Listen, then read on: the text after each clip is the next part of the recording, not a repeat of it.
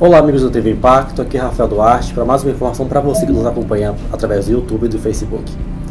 Recentemente, a Secretaria de Segurança Pública do Estado do Pará, junto com a Polícia Militar e a Polícia Civil, divulgou o balanço do mês de março em relação aos anos anteriores. E para falar sobre isso, nós trouxemos o Coronel Maués, que é o comandante do CPR-1, para detalhar esses números e falar mais sobre eles. Acompanhe. Boa tarde a todos da TV Impacto.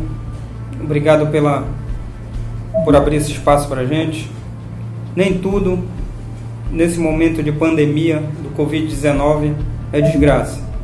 Recentemente, a Secretaria de Segurança Pública do Estado do Pará, através do secretário delegado Walame, nosso comandante-geral, Coronel Dilson Júnior, e o delegado-geral da Polícia Civil, Alberto Teixeira, divulgaram um balanço do mês de março dos crimes no nosso estado do Pará observa-se uma redução considerável no mês de março.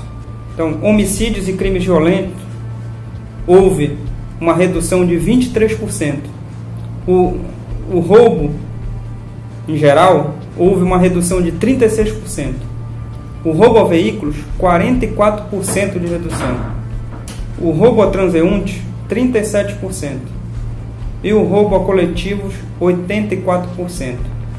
Então são números que nos motivam, mostram que o trabalho da área de segurança pública está sendo feito com muita competência, com muita, muito suor, e isso nos motiva a trabalhar cada vez mais. Aqui, na área do CPR1, onde abrange 13 municípios, nós tivemos também um registro de redução de criminalidade. Quanto ao homicídio, comparando fevereiro e março de 2020, houve uma estabilidade, porque nós tivemos nove homicídios em fevereiro e nove em março.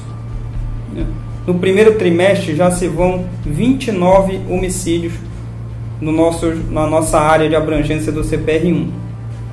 Porém, quando você é, avalia os roubos, né, em janeiro nós tivemos 204 roubos. Quando você compara em, com 2019, você observa uma redução de 15%. Fevereiro nós tivemos 191 roubos. Quando você compara fevereiro de 2020 e fevereiro de 2019, há uma redução de 22%. E quando você compara março, teve 196 roubos. Se você compara março de 2020 com março de 2019, há uma redução de 26%.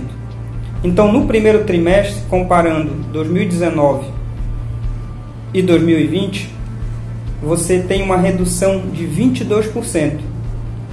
Já que em 2019 nós tivemos 757 roubos, em 2020 591. Isso dá uma redução de 22% nos crimes de roubo na área do CPR1.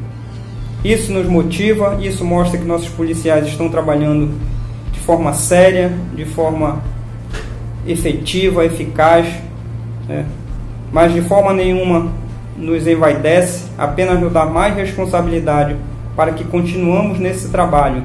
Aproveitamos a oportunidade também para agradecer todo o empenho, todo o trabalho, todo o esforço dos nossos policiais do CPR1 que estão nesses 13 municípios, né, dando dia a dia, indo para a batalha, indo para o fronte, né, combatendo essa criminalidade.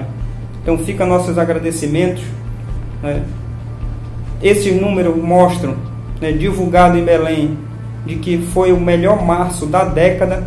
Então foi o melhor mês de março de toda a década. Em 10 anos foi o melhor mês de março que nós tivemos. Então nem tudo nesse momento tão peculiar de crise, de momento de que né, todos sofrem, não só não só né, quem trabalha no comércio, quem ficou desempregado, mas todos nós que temos que redobrar, que estamos no fronte, área de segurança pública e área de saúde, que tem que estar nesse momento né, no fronte da batalha. Mas esses números, essa queda na criminalidade né, nos dá força, mostra que o nosso trabalho está sendo é, eficaz, tendo resultado Então a gente agradece, agradece também a TV Impacto e o Grupo Impacto por abrir esse espaço para a gente e vamos continuar. Vamos para a luta. Confie em quem protege vocês, confie na Polícia Militar. Servir e proteger é a nossa missão. Avante PMPA.